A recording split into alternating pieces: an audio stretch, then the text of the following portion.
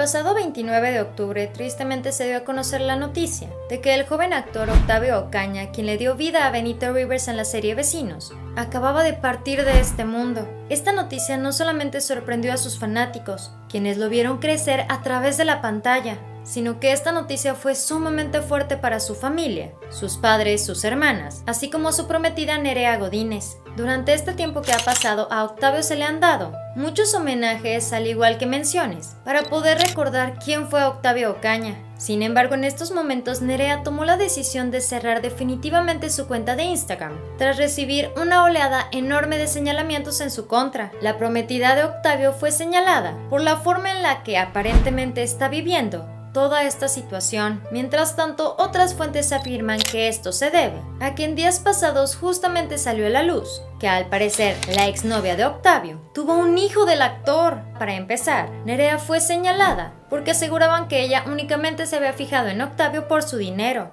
A ella le dijeron que únicamente buscaba obtener protagonismo, y ahora que tristemente el actor partió de este mundo, se le señaló de no llorar en los diversos eventos públicos, e incluso la señalaron de ser la responsable por la pérdida del actor. Sin saber los pormenores de su relación, la cual inició a principios de este 2021, muchos aseguraron que Nerea era una interesada y que solamente quería mostrar su cuerpo, que ella solo utilizaba a Octavio para poder llamar la atención hacia ella. Ahora fue señalada incluso por irrespetuosa porque en su funeral ella se vistió con shorts de mezclilla cortos. En días pasados se dio a conocer que Yoyis García, la exnovia de Octavio con quien había tenido una larga relación, se había convertido en mamá después de que ella empezó a publicar fotos del bebé Muchos, muchísimos internautas aseguraban que el bebecito es idéntico a Octavio, que tal vez Nerea se metió en esa relación, ambos terminaron, y convenció a Octavio de que no se hiciera cargo de este pequeñito. Esta por supuesto es solo una versión de los hechos, pero lo cierto es que demasiados internautas y medios de comunicación le han puesto una especial atención al bebé de Yojis, porque efectivamente es innegable el parecido que tiene con Octavio Ocaña. Precisamente al darse a conocer esta información, da la casualidad de que Nerea cierra por completo su cuenta de Instagram? ¿Será porque tal vez la atención ya no solamente está sobre ella, o porque se está dando a conocer una nueva versión de la historia? Hasta este momento, la expareja de Octavio no ha mencionado nada al respecto, aunque lo que sí podemos ver es que cuando se dio a conocer la noticia de Octavio,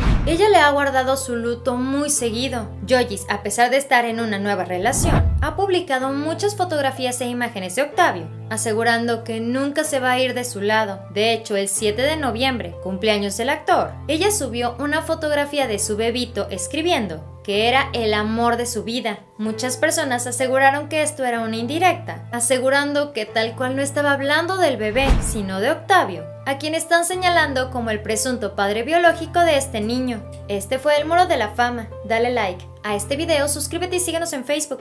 Pero antes de que te vayas, chécate este video, estoy segura que te va a encantar. Espero que tengas un excelente día, nos vemos muy pronto. Bye.